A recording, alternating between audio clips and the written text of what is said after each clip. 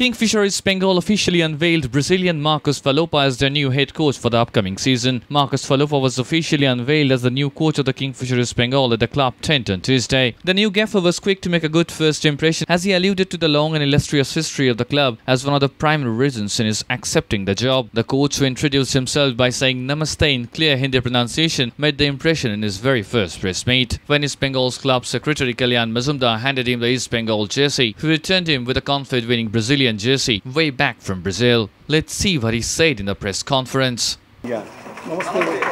Namaste. And uh, very glad to come here, very happy.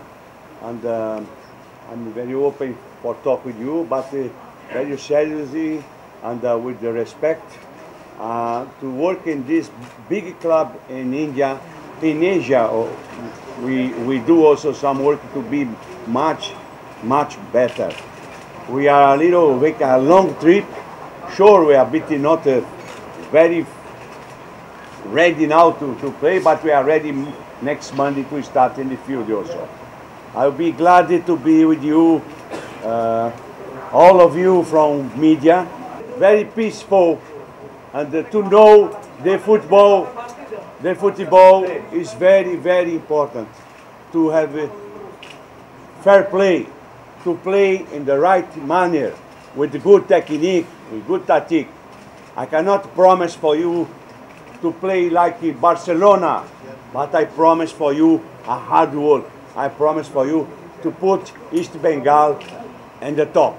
But uh, 4 4 2, 3 5 2, now it depends. It depends. Depends a lot uh, what you play. You play home one way, maybe out home another way.